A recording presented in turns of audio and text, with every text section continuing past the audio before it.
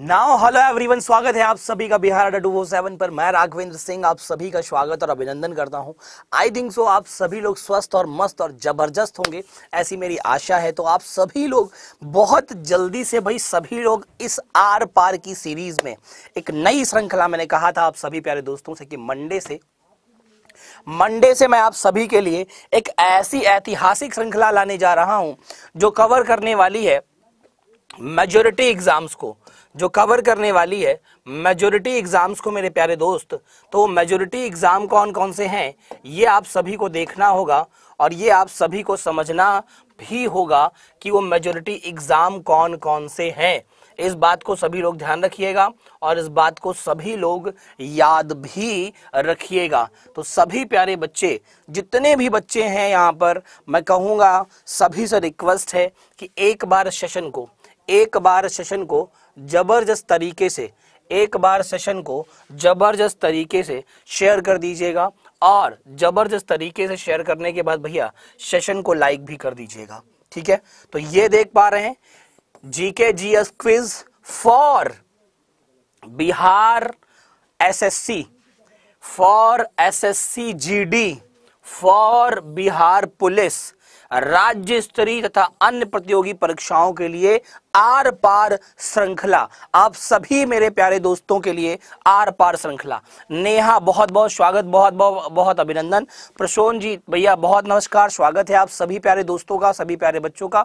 बिल्कुल प्रशोन बिल्कुल। Today is a world to tourism day. बिल्कुल भैया, बहुत बहुत विश्व पर्यटन दिवस की हार्दिक शुभकामनाएँ और ज़बरदस्त तरीके से हम सभी लोग पर्यटन में भी जुड़े रहेंगे, हम सभी लोग टहलते घूमते भी रहेंगे, है ना भाई? तो चलो, आज के सेशन की शुरुआत करते हैं और जानने की कोशिश करते हैं कि आज का सेशन का मोटिवेशनल कोड क्या कह रहा है। ओहो हो मोटिवेशनल कोड कुछ इस तरह आप सभी के सामने आ चुका है और कह रहा है, मुश्किल इंसान को मजबूर नहीं मज़बूत बनाती है। मुश्किल इंसान को मजबूर नहीं, मज़बूत बनाती है। इस बात को आप सभी लोग ध्यान रखेंगे और आप सभी लोग याद भी रखेंगे। तो सभी प्यारे दोस्तों का बहुत बहुत स्वागत है और बहुत बहुत अभिनंदन है इस क्लास में। चलिए, पहला क्वेश्चन आज का आप सभी की स्क्रीन पर ये रहा। देखना है कि सबसे पहले आंसर किसका आएगा। देखना है कि सबसे पहले आंसर किसका आएगा। क्वेश्चन क्या कह रहा है? क्वेश्चन को समझिएगा जरा। कह रहा है ब्लैक होल त्रासदी कहाँ हुई थी? ब्लैक होल की जो घटना है, ये कहाँ हुई थी, ये आप सभी को बताना है। ब्लैक होल की घटना कहाँ हुई थी, ये आप सभी को बताना है। पहला, मोंग हीरो, कलकत्ता, मुर्शिदाबाद और ढाका।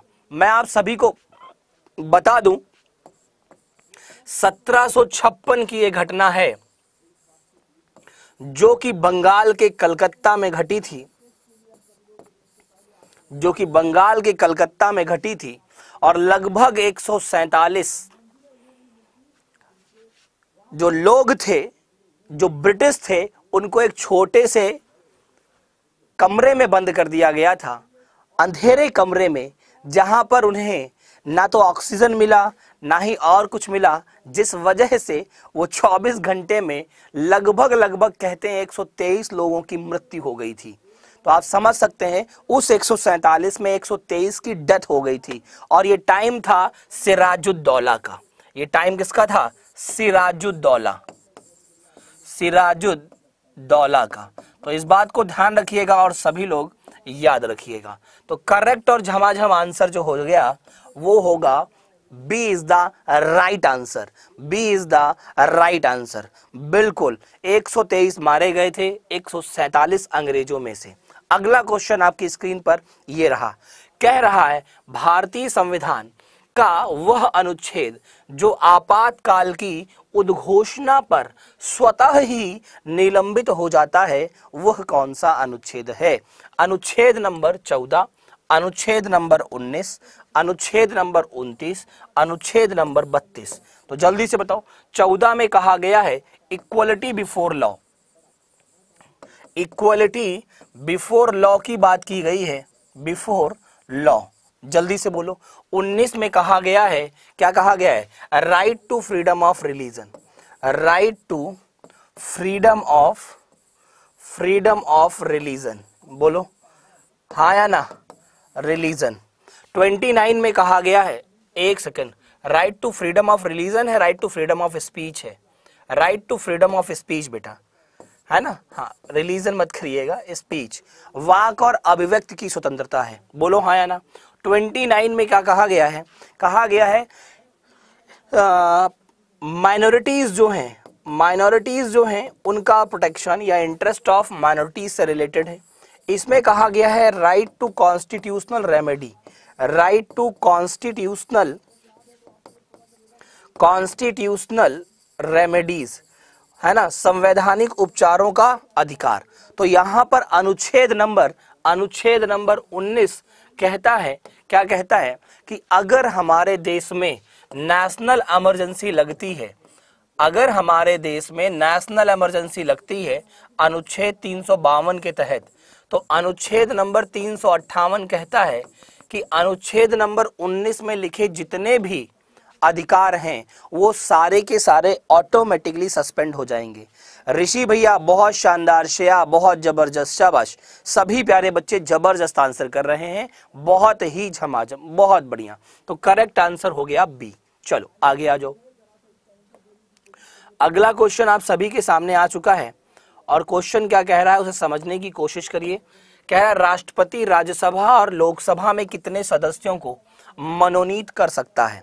राज्यसभा और लोकसभा में मिला करके कितने सदस्यों को मनोनीत कर सकता है? कोमल आ, कोमल बहुत बहुत स्वागत है बहुत बहुत अभिनंदन है। सर ये बिहार एसआई वाला बैच है। हाँ बेटा हाँ। हाँ कोमल बिल्कुल। थंबनेल देखो बेटा उसमें थंबनेल में मत जाया करो। थंबनेल में सारा लिखा हुआ है ना? सब कुछ कवर कर रहे हैं। बिहार एसआई भी इसमें कवर कर रहे हैं कोमल? हाँ बिल्कुल। ठीक है? बिहार में जो आपकी पंचायत से संबंधित वैकेंसीज आएँगी उनको भी कवर कर रहे हैं। बिहार का जो एसएससी होगा, उसको भी कवर कर रहे हैं। तो सारा कुछ लेके चल रहे हैं। ठीक है? हाँ बहुत बढ़िया। ज़बरदस्त, बिल्कुल क्लास रहेगा। बिल्कुल टेंशन नहीं लेनी है। बिहार पुलिस भी कवर कर रहे हैं। तो बताओ जल्दी से, राज्यसभा की बात हो रही है? कोमल, किसकी बात हो रही है बेटा? राज्यसभा की बात हो रही है। फिर किसकी बात हो रही है? लोकसभा की बात हो रही है। सेशन को जल्दी से सभी लोग शेयर कर दीजिएगा लाइक कर दीजिएगा। जितने प्यारे बच्चे हैं, सभी के सभी। ठीक है? तो यहाँ पर राज्यसभा में आप लोग जानते हो, बारह सदस्यों को मनोनीत किया जाता है। मनोनीत। कितने सदस्यों को? बारह सदस्यों को मनोनीत किया जाता है और यहाँ पर दो सदस्यों को मनोनीत किया जाता है। दो सदस्यों को मनोनीत करते हैं। मनोनीत करते हैं। ये बात आप सभी को पता है। जल्दी से बता दो यस और नो तो करेक्ट आंसर जो हो जाएगा करेक्ट आंसर जो हो जाएगा, वो हो जाएगा क्या बेटा? जल्दी से बोलो। D is the right answer D is the right answer of the question जल्दी से बता दो सभी प्यारे दोस्त। यस और नो चलो, आगे आ जाओ। अगला क्वेश्चन आपकी स्क्रीन पर ये रहा। बहुत बढ़िया। चलो, अगला क्वेश्चन बताओ। राजा राममोहन राय, डैश डैश के संस्थापक थे। राजा राममोहन राय किसके संस्थापक थे? आर्य समाज, रामकृष्ण मिशन, ब्रह्म समाज और प्रार्थना समाज। जल्दी से बता दो। बहुत शानदार, ज़बरदस्त। तो याद रखिएगा, राजा राजा राममोहन राय। राम मोहन मोहन राय जो थे, वो संस्थापक थे ब्रह्म समाज के। किसके थे? ब्रह्म समाज के। इस बात को ध्यान रखिएगा और इस बात को याद रखिएगा। करेक्ट आंसर क्या हो जाएगा? तीसरा third it mean C is the right answer Arya Samaj के संस्थापक कौन थे? कौन थे? दया, कौन से थे? बताओ भैया। दया, स्वामी दयानंद दयानंद सरस्वती वती स्वामी दयानंद सरस्वती। जल्दी से बोलो हाँ या ना। प्रार्थना समाज के संस्थापक, जल्दी से बताओ। प्रार्थना समाज के संस्थापक। बहुत शानदार प्रशोन, बहुत ज़बरदस्त। प्रार्थना समाज के संस्थापक, केशव चंद्र सेन। ठीक है? हाँ केशव चंद्र सेन रामकृष्ण मिशन, स्वामी विवेकानंद। चलो, ज़बरदस्त, शानदार, उम्दा। आंसर करने की कोशिश करो भाई।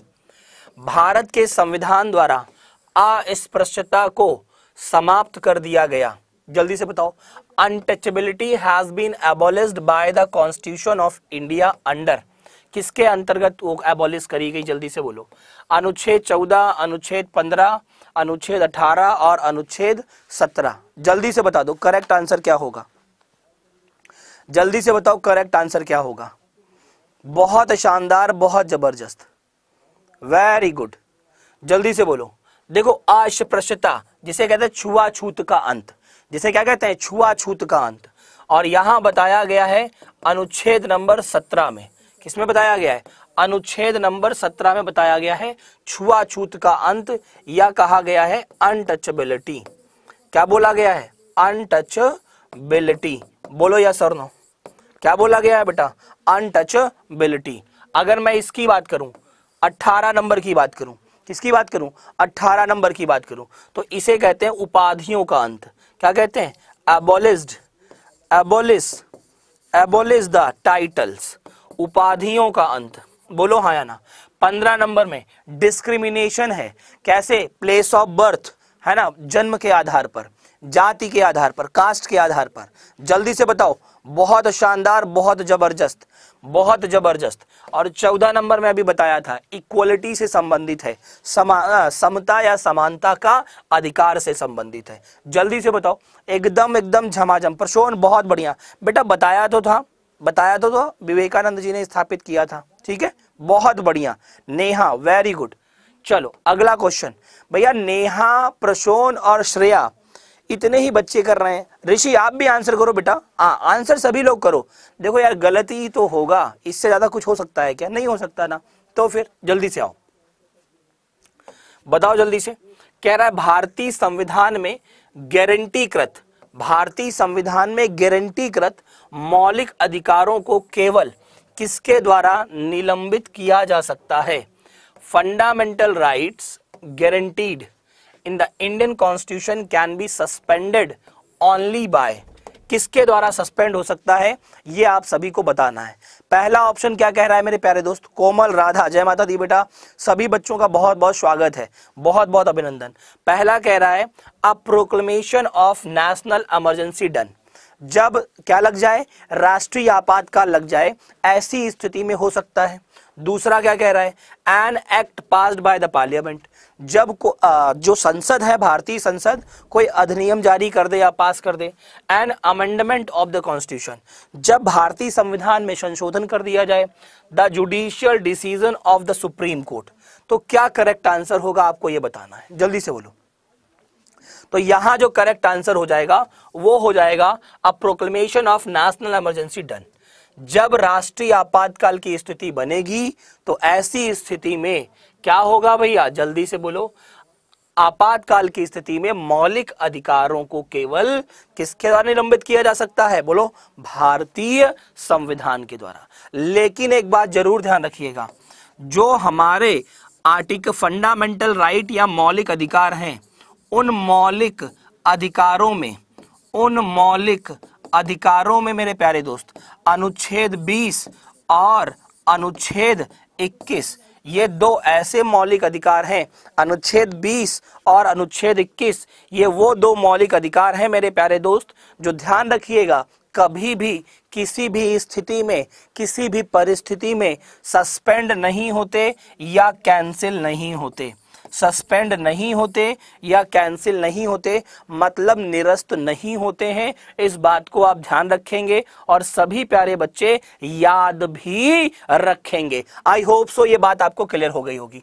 चलो, अगला क्वेश्चन करके दिखाओ। अगला क्वेश्चन राज्यपाल को पद की शपथ किसके द्वारा दिलाई जाती है? जल्दी से बोलो, राज्यपाल को पद की शपथ किसके द्वारा दिलाई जाती है?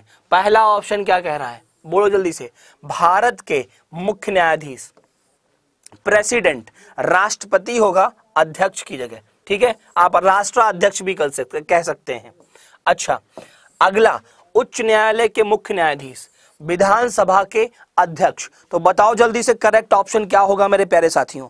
Very good Shreya. Very good बेटा। नेहा वेरी गुड बिल्कुल प्रशोन बहुत बढ़िया, बहुत अच्छे। कोमल, बहुत ज़बरदस्त। देखो बेटा, समझो, राज्यपाल की बात कर रहा है। किसकी बात कर रहा है? राज्यपाल की बात कर रहा है। तो राज्यपाल जो होता है, उसे क्या बोलते हैं हम लोग? गवर्नर कहते हैं। बोलो हाँ या ना?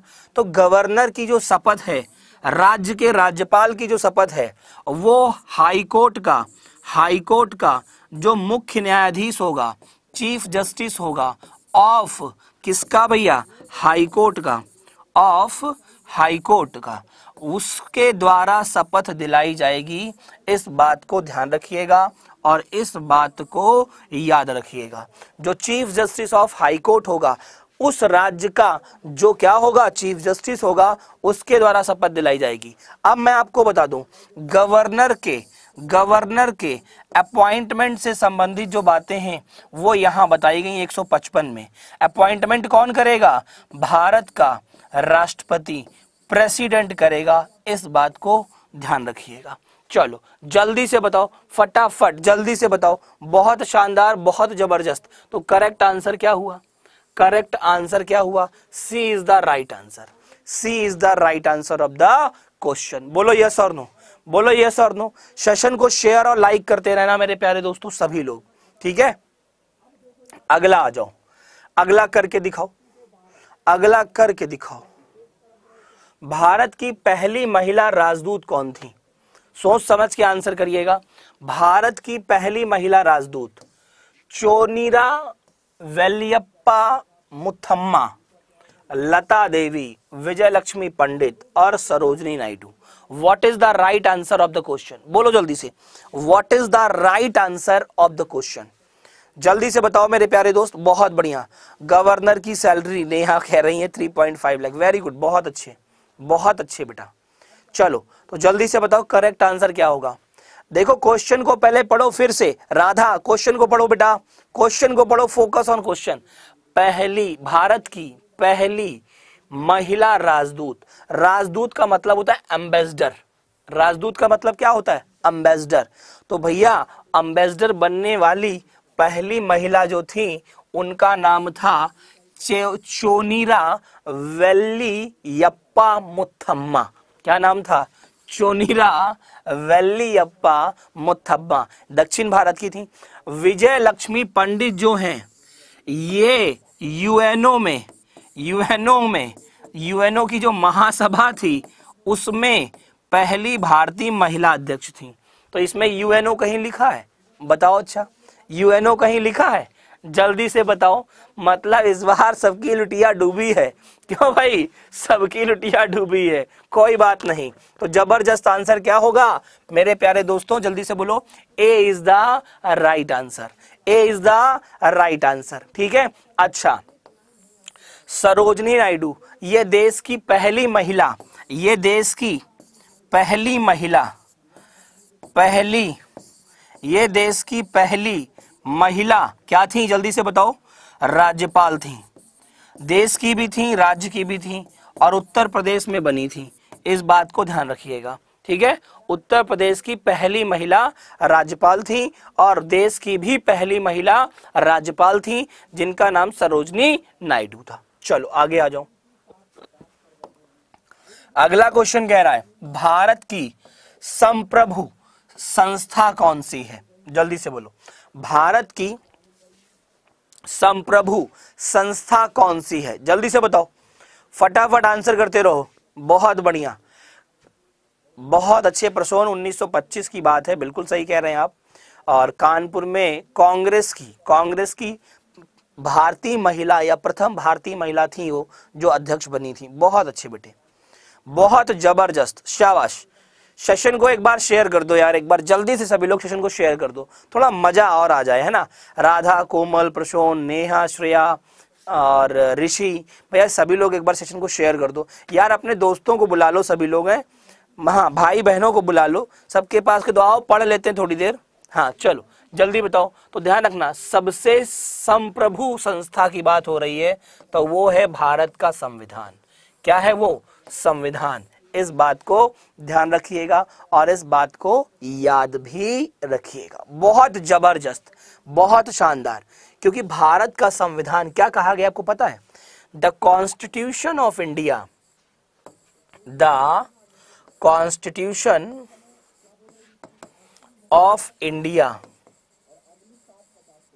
is a supreme law is a supreme law supreme law मतलब इसमें जो कुछ भी लिखा है, वो सब सर्वोपरि है। मतलब वो सुप्रीम है। उससे ऊपर कुछ है ही नहीं, उससे ऊपर ऊपर कोई एग्जिस्ट ही नहीं करता। मतलब everything is a everything everything is a what बोलो जल्दी से। Everything is a what constitution constitution से ऊपर कुछ भी नहीं है। इस बात को आप ध्यान रखिएगा और इस बात को आप याद भी रखिएगा। चलो, आगे आ जाओ। बहुत शानदार, बहुत ज़बरदस्त उम्मीद करता हूँ आप सभी को मज़ा आ रहा होगा। राज्यसभा की अधिकतम शक्ति सदस्यों की संख्या अधिकतम शक्ति की बात कर रहा है कितनी है? जल्दी से बोलो। राज्यसभा में अधिकतम शक्ति 220, 235, 238 और 250 अधिकतम की बात कर रहा है कितनी होगी अधिकतम? जल्दी से बताओ जल्दी से बताओ। तो राज्यसभा में ध्यान रखिएगा राज्य सभा की अगर मैं बात करता हूँ तो ये अनुच्छेद नंबर 80 में बताई गई है। और ये पार्लियामेंट का अपर हाउस होता है।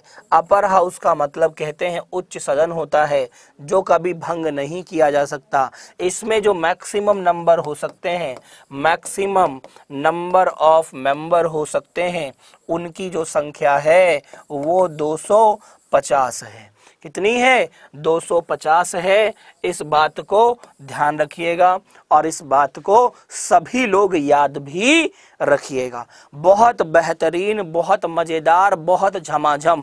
भैया, एक बार सेशन को सभी लोग शेयर और लाइक भी कर दो, मज़ा आ जाए बिल्कुल। लाइक शेयर करते रहना।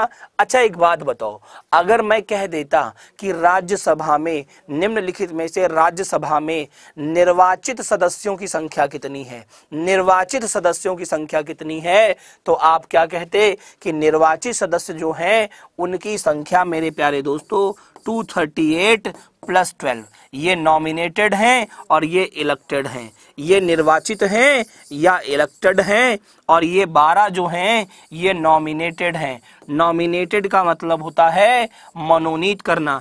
जैसे राष्ट्रपति जी ने राधा को उठाया और राज्यसभा में नॉमिनेट कर दिया तो राज्यसभा की वो मेंबर हो गई। ठीक है नेहा को उठाया और कहा, तुम भी राज्यसभा की मेंबर हो गई। है ना? प्रसोन को उठाया, कहा, तुम भी राज्यसभा के मेंबर हो गए। इस तरीके से 12 मेंबर्स को नॉमिनेट किया जा सकता है। इस बात को ध्यान रखिएगा। बोलो भाई, मुद्दा क्लियर? जल्दी से बताओ। आ जाओ आगे। अगला क्वेश्चन आपके सामने। स्वतंत्र भारत के प्रथम गवर्नर जनरल कौन थे? सोच समझ के आंसर करिएगा। Lord Mountbatten VV Giri, C. Rajagopalachari, Lord Dalhousie. जल्दी से बताओ। जल्दी से बताओ। बहुत बेहतरीन बहुत बेहतरीन, बहुत शानदार बहुत शानदार, बहुत जानदार, बहुत ज़बरदस्त। चलो, जल्दी से बोलो। वेरी गुड राधा बहुत अच्छे। नेहा, बहुत बढ़िया, श्रेया। वेरी गुड आशीष भैया, हमारे ऋषि, बहुत अच्छे। प्रशोनजीत बहुत बढ़िया। सभी लोग यार आंसर करते रहो कम से कम। नाम तो ग्यारह लोग हो। नाम पाँच, सात आ रहे हैं। सभी लोग आंसर करो। एक बार टेंशन क्यों लेते हो? गलती तो होगा। कोमल वेरी गुड आंसर देने की तो कोशिश करो एक बार। देखो भाई, अब मेरी बात समझो। कह रहा है स्वतंत्र भारत के प्रथम गवर्नर जनरल। कहीं यह लिखा हुआ है कि स्वतंत्र भारत के प्रथम भारतीय गवर्नर जनरल। नहीं लिखा हुआ है। अगर भारतीय नहीं लिखा हुआ है तो ये तो हो ही नहीं सकते। फिर बचे एक भाई साहब यही, Lord Mountbatten. Lord Mountbatten A is the right answer of the question one. एक नंबर बिल्कुल सही और झमाझम आंसर होगा। क्यों सही होगा ये भी सुन लीजिए और समझ लीजिए।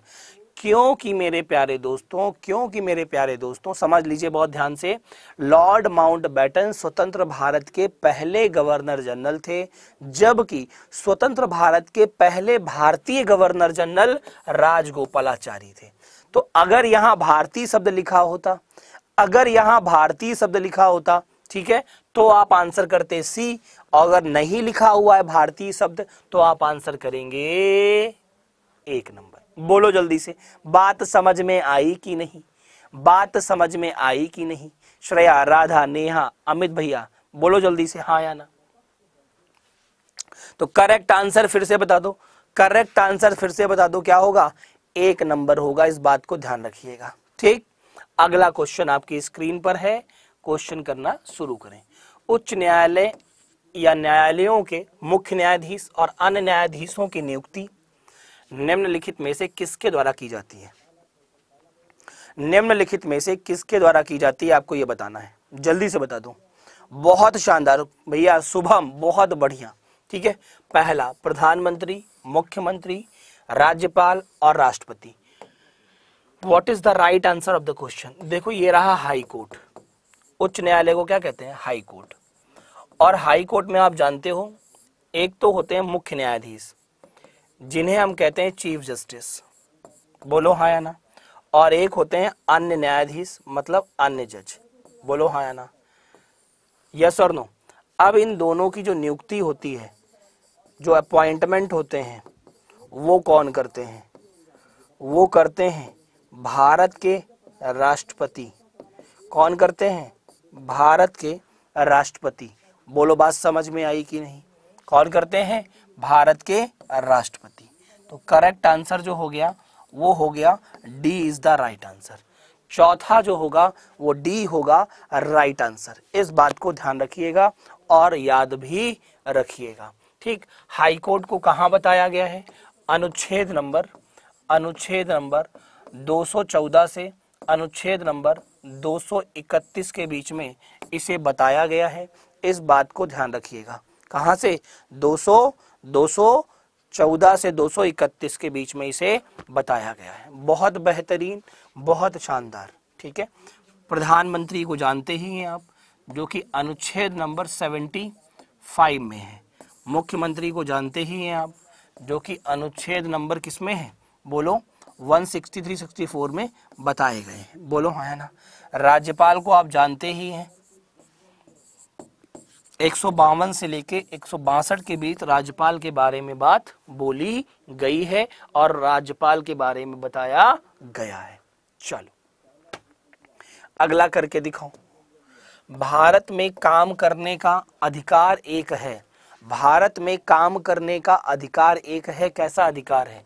मौलिक अधिकार निर्देशक तत्व, संवैधानिक अधिकार या सांवैधिक कर्तव्य। संवैधानिक कर्तव्य।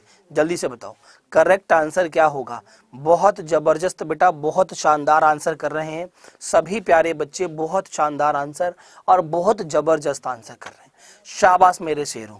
जाबाश, शाबाश शाबाश। जल्दी से बताओ। शाबाश बेटा। तो देखो, काम करने का जो अधिकार है ये बताया गया है अनुच्छेद नंबर 41 में। किसमें बताया गया है? अनुच्छेद नंबर 41 में इस बात को ध्यान रखिएगा और डीपीएसपी के अंतर्गत, क्योंकि डीपीएसपी जो है, ये अनुच्छेद नंबर 36 से लेके इक्यावन के बीच में है 51 के बीच में है। बोलो तो इकतालीस कहाँ आएगा? इसी के बीच में आएगा। तो भारत में काम करने का जो अधिकार है, वो directive principle of state policy के अंतर्गत आता है मतलब डीपीएसपी के अंतर्गत आता है। या हिंदी में कहोगे, राज्य के नीति निदेशक सिद्धांतों के अंतर्गत आता है। जल्दी से बता दो, किसके अंतर्गत आता है? राज्य के नीति निदेशक सिद्धांतों के अंतर्गत आता है। इस बात को आप ध्यान रखेंगे। पंचायती राज व्यवस्था का मध्यवर्ती स्तर क्या कहलाता है? जल्दी से बोलो। पंचायत सर, आप सफलता। दिव्या सिंह। बेटा, आज से, आप से, आज से, आज आप यहीं, आज से यहीं पढ़ेंगे, ठीक है? हाँ और जो पीछे रह गया, वो रह गया, है ना? आ, किसको वो छोड़ा किसको पकड़ा वो तो एक सेकेंडरी बात है ना। ठीक है? तो आप सभी लोग जितने भी बच्चे हैं, सब यहाँ पढ़ेंगे और बेहतरीन पढ़ेंगे। जो आपके एग्ज़ाम में आएगा, जो एग्ज़ाम ओरिएंटेड होगा, वही पढ़ाएँगे, ठीक है? आप आज से यहीं पढ़िए, सुबह दस बजे से लेके ग्यारह बजे के बीच में और शाम को आठ बजे से लेके नौ बजे के बीच में। दो दो आपकी यूट्यूब पे क्लास रहेंगी और पेड बैचेस भी मेरे हैं तो आप पेड बैच अगर लेना चाहे ना तो पेड बैच भी ले लेना, ठीक है? मैं बता दूँगा, आप मुझसे एक बार कांटेक्ट कर लेना, मैं बता दूँगा तो आप सारी चीज़ें कर लोगे, ठीक है? चलो, बहुत शानदार, बहुत झमाझम। तो जल्दी से बताओ करेक्ट आंसर क्या होगा?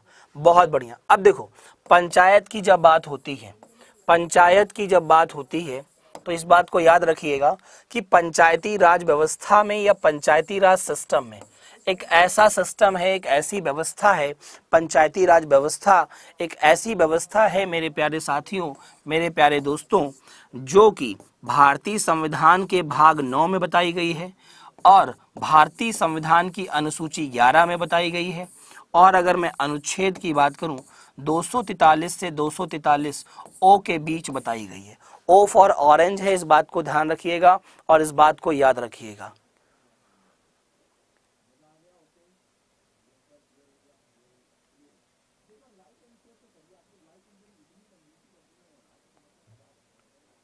अच्छा ठीक है।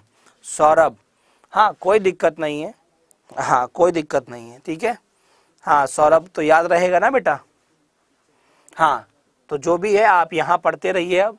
कोई समस्या नहीं, कोई दिक्कत नहीं। ठीक है, सौरभ? हम्म ठीक है।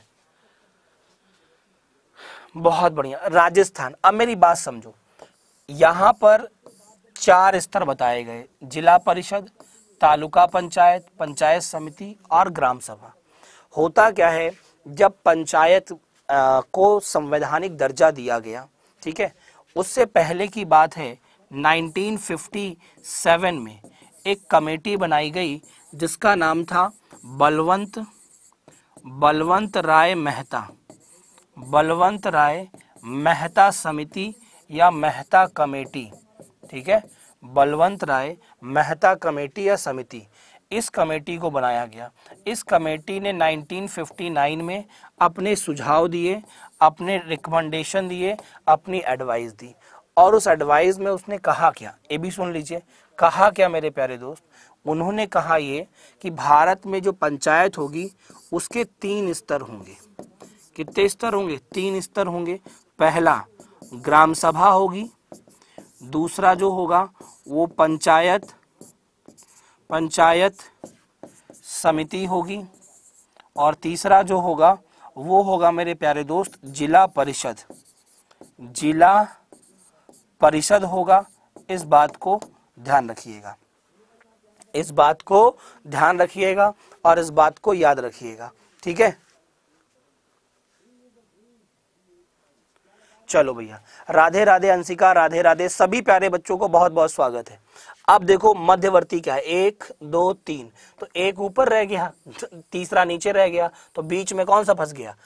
पंचायत समिति। तो मध्यवर्ती क्या हो गया? पंचायत समिति। ध्यान रखिएगा, शब्दों का खेल है बेटा, शब्दों का खेल है, बस उसमें आपको परेशान कर सकते हैं, ठीक है?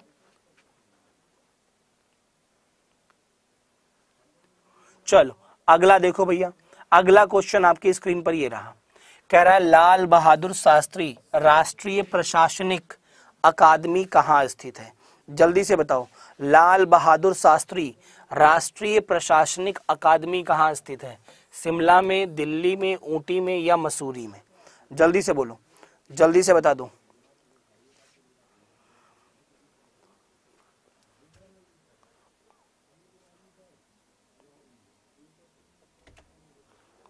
चलो, जल्दी से बताओ। क्या होगा बेटा? जल्दी से बता दो फटाफट। बहुत शानदार। पंचायती राज व्यवस्था को पूरे राज्य में लागू करने वाला राज्य कौन सा था? बहुत अच्छी बात है ये। बेटा, सबसे पहले राजस्थान में आया था ये। सबसे पहले राजस्थान में आया था, ठीक है? 1959 में। हालाँकि जब पंचायती राज व्यवस्था को कॉन्स्टिट्यूशनल स्टेटस मिल गया था, संवैधानिक दर्जा मिल गया था, तब बेटा कर्नाटक ने इसे अप्लाई किया था। किसने? कर्नाटक ने अप्लाई किया था, इस बात को ध्यान रखिएगा, ठीक? तो करेक्ट आंसर हो जाएगा मसूरी। क्या हो जाएगा बेटा? Mussoorie is the right answer ठीक है? लाल बहादुर शास्त्री राष्ट्रीय प्रशासनिक अकादमी कहाँ है? मसूरी में है। अगला आओ गौर से पढ़ो सवाल, बहुत बेहतर सवाल। निम्नलिखित में से कौन भारतीय या निम्नलिखित में से कौन भारतीय राष्ट्रीय कांग्रेस के अध्यक्ष के रूप में चुने जाने वाले पहले यूरोपीय थे? मतलब पहले अंग्रेज़ थे, आपको ये बताना होगा। जल्दी से बताओ, पहले अंग्रेज़ थे, आपको ये बताना होगा। जल्दी से बोलो। Annie Besant, George Yule AO Hume, Alfred Webb. जल्दी से बोलो। Alfred Webb. तो क्या करेक्ट आंसर होगा? बहुत बेहतरीन, बहुत शानदार, बहुत ज़बरदस्त बेटे बहुत बढ़िया। क्या बात है। चलो, जल्दी से बताओ। तो इस बात को ध्यान रखना, या, यहाँ पर भारतीय राष्ट्रीय कांग्रेस के जो पहले ब्रिटिश अध्यक्ष बने थे, ब्रिटिश प्रेसिडेंट बने थे, वो कोई और नहीं थे। उनका नाम था जॉर्ज यूल। क्या नाम था? George Yule. देखो, लिखा है यूल या यूले। दूसरा होगा जो, वो करेक्ट आंसर हो जाएगा। जो दूसरा होगा, वो करेक्ट आंसर हो जाएगा। अब आप कहो, कहाँ बने थे और कब बने थे? 1888 में बने थे। कहाँ बने थे? 1888 में बने थे। इस बात को ध्यान रखिएगा। और मेरे प्यारे साथी, और मेरे प्यारे दोस्त, ये बने कहाँ थे बेटा? तो याद रखेंगे आप सभी लोग अलाहाबाद में। अलाहाबाद में हुआ था वो कॉन्फ्रेंस कहाँ हुआ था? अलाहाबाद में कॉन्फ्रेंस हुई थी। पहली महिला जो अध्यक्ष थी, वो एनी बेसेंट थी। जो पहली महिला अध्यक्ष थी, वो एनी बेसेंट थी। ठीक है? एओ ह्यूम, ये वही व्यक्ति हैं जिन्होंने कांग्रेस, इंडियन नेशनल कांग्रेस की स्थापना अठारह में की थी। जब टाइम चल रहा था लॉर्ड डफरिन का भारत में। किसका चल रहा था? लॉर्ड डफरिन का चल रहा था। इस बात को ध्यान रखिएगा और सभी लोग याद भी रखिएगा। तो करेक्ट आंसर हो जाएगा दो नंबर बोलो हाँ या ना? करेक्ट आंसर दो नंबर अगला कह रहा है, क्या कह रहा है? लोकसभा चुनाव के लिए उत्तर प्रदेश में निर्वाचित क्षेत्रों की संख्या है। जल्दी से बताओ, निर्वाचित क्षेत्रों की संख्या कितनी है? जल्दी से बोलो भाई, जल्दी से बताओ। लोकसभा चुनाव के लिए उत्तर प्रदेश में निर्वाचित क्षेत्रों की संख्या कितनी है? 66 है 80 है 55 है या 92 है? तो आप सभी को बताया गया था कि लोकसभा में उत्तर प्रदेश में 80 सीटें आती हैं। अस्सी सीट्स आती हैं। बोलो हाँ ना? अगर यही राज्यसभा पूछता तो आप थर्टी वन सीट्स बताते। कितनी? थर्टी वन सीट्स राज्यसभा में। कौन सी सभा में? राज्यसभा में। यही आपसे कह देता विधानसभा। यही आपसे कह देता विधानसभा में। तो आप कहते चार सौ तीन। बोलो हाँ या ना? यही आपसे कह देता विधान परिषद में। तो आप कह देते नाइनटी नाइन। जल्दी से बताओ। यस और नो। बहुत शानदार। राधा, श्रेया, अंशिका, आशीष, जसवाल, बहुत बढ़िया भैया। नेहा, बहुत शानदार, ज़बरदस्त। बहुत बढ़िया। बिल्कुल। सौरभ भैया, बहुत ज़बरदस्त आंसर। सभी बच्चों का बहुत बढ़िया, बहुत शानदार। चलो, आगे चलते हैं। अगला क्वेश्चन क्या कह रहा है? भारत की पहली महिला मुख्यमंत्री कौन है? जल्दी से बोलो। भारत की पहली महिला मुख्यमंत्री कौन है? जानकी रामचंद्रन, सुचेता कृपलानी, शशिकला काकोडकरो और नंदनी सत्यपथ। जल्दी से बोलो। का का कोड करो, कर, करो करो। जल्दी से बोलो। नाम बताओ जल्दी से। फटाफट बताते रहो मेरे प्यारे दोस्त। बहुत शानदार, बहुत ज़बरदस्त, बहुत एकदम एकदम जलवा जलवा बिखेर दो भैया। जलवा जलवा। बहुत बढ़िया। तो करेक्ट आंसर जो हो जाएगा वो हो जाएगा सुचेता कृपलानी। वो क्या हो जाएगा भैया? Sucheta Kripalani is the right answer of the question बहुत शानदार। दूसरा B is the right answer चलिए, आगे आ जाइए। आगे आ जाइए। वर्तमान लोकसभा है। वर्तमान में जो लोकसभा चल रही है, वो कौन से नंबर की लोकसभा है? बताओ। पंद्रह, सत्रह अठारह सोलह और चौदह। तो करेक्ट आंसर आप सभी का होगा। क्या होगा? जल्दी से बोलो झमझम झमाझम जल्दी से बता दो, सत्रहवीं लोकसभा चल रही है। कौन सी? सत्रहवीं लोकसभा चल रही है। सत्रहवीं लोकसभा चल रही है। क्या चल रही है?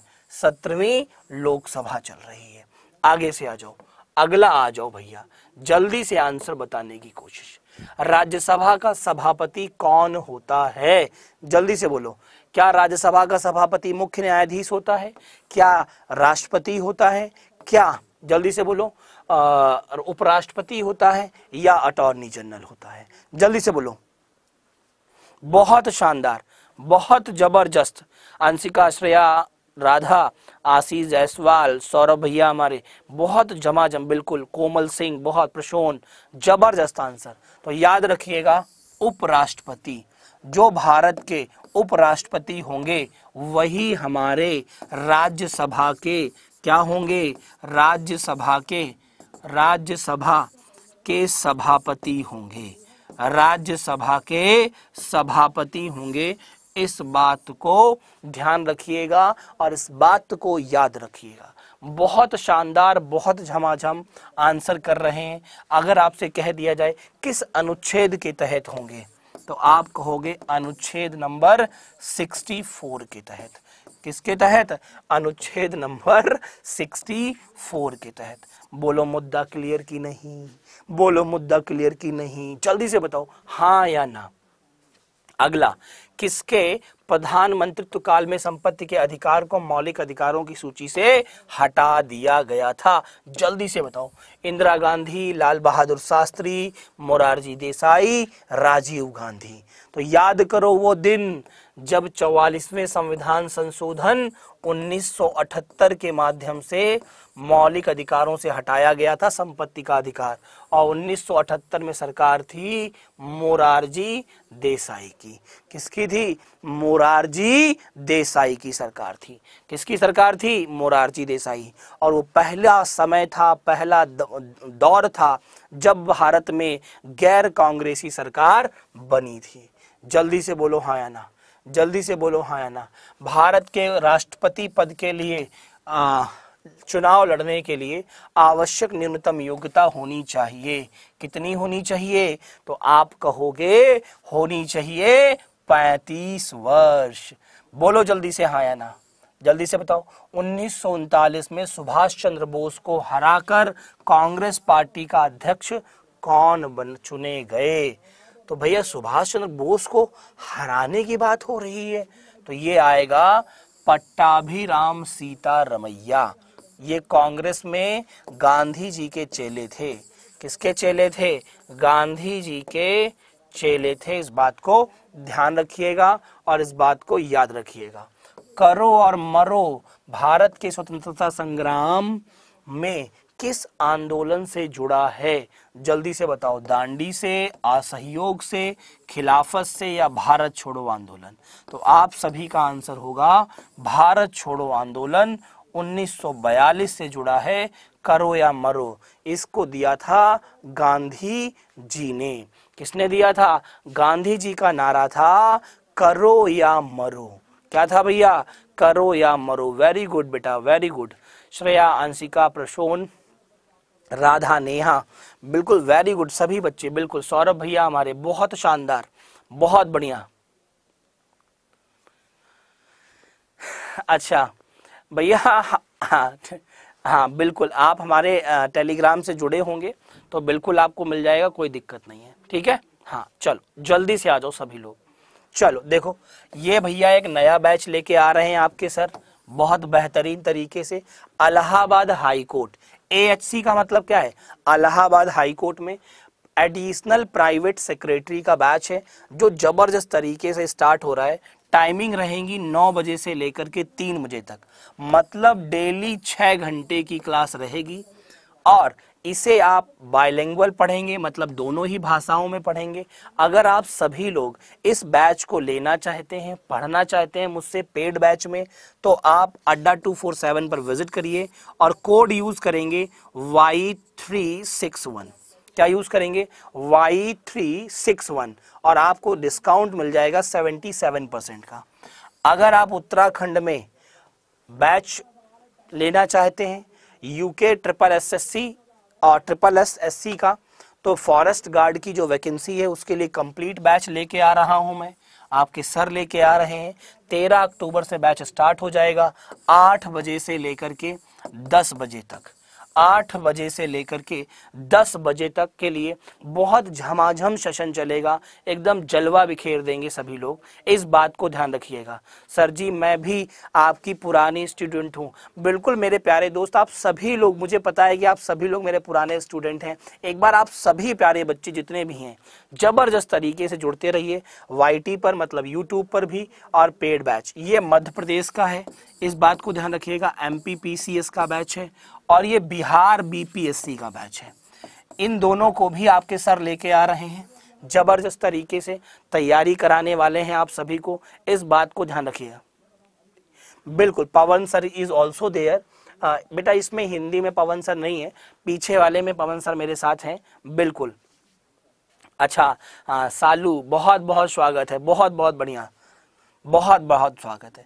ये सारे बैच आप खरीदने के लिए जो भी बच्चा परचेज करना चाहता है पेड बैच वो यूज़ करेगा वाई थ्री सिक्स वन को और ज़बरदस्त तरीके से पेड बैच ले लेगा। ठीक है? और मुझसे जुड़ जाएगा, और भी सर जो हैं उनसे भी जुड़ जाएगा। ठीक है? तो हम लोगों की बिल्कुल, राघवेंद्र सर की पॉलिटी ज़बरदस्त है। अच्छा देखो भाई, सब बिल्कुल सभी आप लोगों का स्नेह और प्यार है। तो अगले सेशन में बेटा मुलाकात होगी शाम को इसी क्लास में मतलब Bihar Adda two four seven पर मुलाकात होगी आठ बजे से नौ बजे के बीच, ठीक है? सभी प्यारे बच्चे जो नए हैं हमारे प्यारे बच्चे इस प्लेटफॉर्म पर, वो सभी एक बार सेशन को शेयर कर देंगे लाइक कर देंगे और Bihar Adda two four seven को सब्सक्राइब कर लेंगे बेल आइकन को प्रेस कर लेंगे, जिससे कि मेरी आने वाली सारी क्लासें आप सभी को मिल जाएँ। So guys thank you so much have a good day जय हिंद।